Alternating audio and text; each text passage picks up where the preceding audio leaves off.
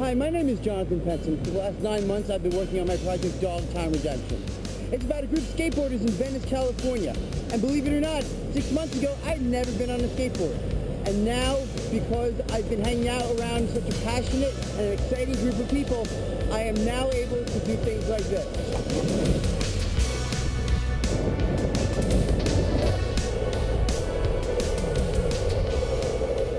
how I keep myself, uh, you know, staying the course of, of why I skateboard.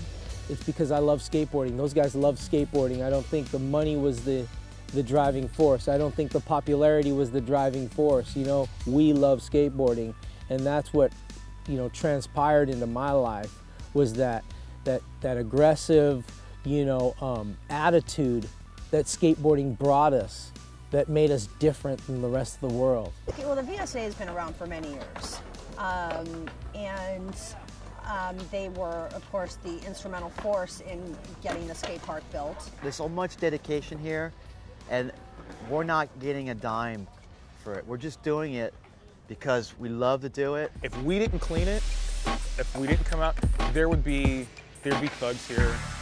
There would be uh, um, drug addicts. The needles would be here.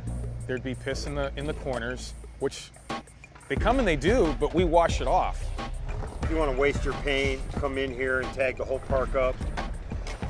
You know, as long as nobody catches you or nothing, go ahead. But we, you know, guaranteed we are going to show up that morning at 5 and we are going to clean it non-stop until all the graffiti's gone. That's what other skateboard park has that. You know what?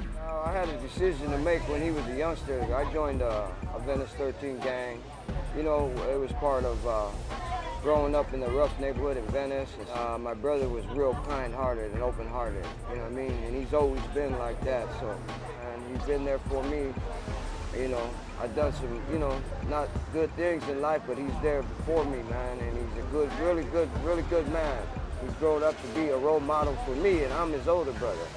Great monitoring, great guidance, a great support to the young people. Volunteer with a whole group with the VSA. They get out there and they organize it. Thank God I was born in Venice. There's so much passion in this place. There's so much beauty. There's so much pain. You know, it's dark, it's light, it's just beautiful. Yeah, I know almost everybody who's here.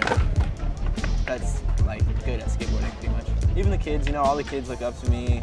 They all want to, oh, I did this trick, I did that trick. And I'm like, yeah, man, you know, I encourage them as much as I can. I try to help them out as much as I can. I love it. It's just, I feel like uh, a king here. My run is first I like go right there.